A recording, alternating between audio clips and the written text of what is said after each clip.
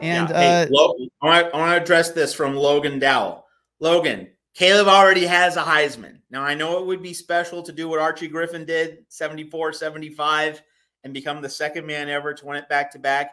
This season's about making the playoff, and it's about winning the last ever Pac 12 championship. It's not about the Heisman. Like the like the and Lincoln Riley as a coach, and I think Caleb Williams as a player, they're not thinking, "Oh, I gotta win the Heisman this year uh, to make my USC career complete before I go uh, to the NFL draft and become the number one pick in 2024. No, this is a, this is about rings. This year's about championships. So you have the Heisman. Would it be great if you if you won the Heisman again? Yes, but the Heisman. Let's look at it this way.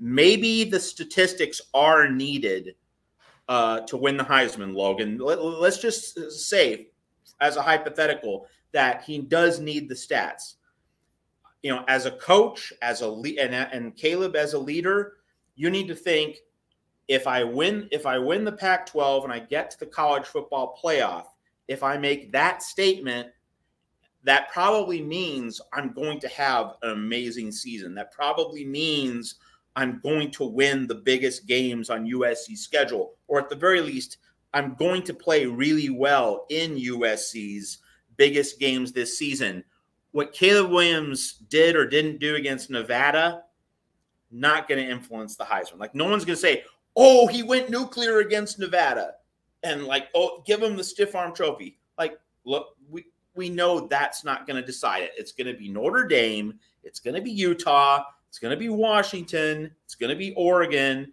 And then if he gets to the Pac 12 championship game, which, you know, would be his final argument in a what could be a crowded debate. And, you know, the Pac-12 could. Let's deal with with this point, Logan, and everyone else watching here at the Voice of College Football. Pac-12 could have three Heisman finalists. Like that's no joke. That is a that is a, an entirely realistic possibility right now. Whether it's Caleb and Penix and Shedeur Sanders, or maybe Travis Hunter gets in there.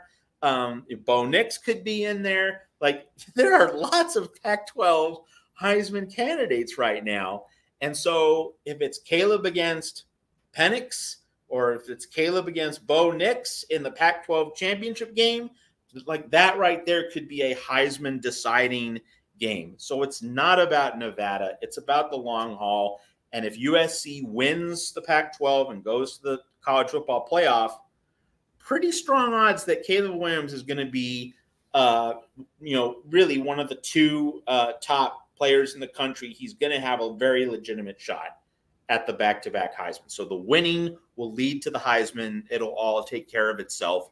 I think that's the best way to view it.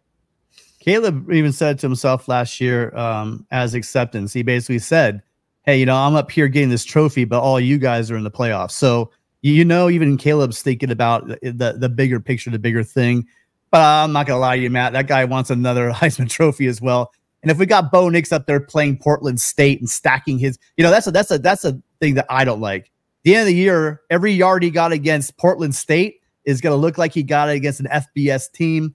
And uh, I just honestly think you can go ahead and play some FCS schools, but that, that should not count an FBS an FBS stat sheet. That, that's just that's just a bone I want to well, pick. The main thing is no one should overvalue that. Like, okay, whoop, whoop de do. You scored 81 on Portland State. Give yourself a medal and a and an orange slice. You know. No, I mean what I mean is the five for six touchdown passes he threw and the 400 yards he threw for against against who? An FCS school. Yeah, that's that's what I'm saying. Of course. At the yeah, end I mean, of the year, they accumulate. They'll, they'll show a stat line for the year, Matt.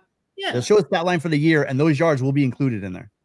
Yeah, that's right. But like you know, you, we we know that it's going to be decided by the biggest games on the schedule. So like no no worries and no concern from my end. Let's put it that way.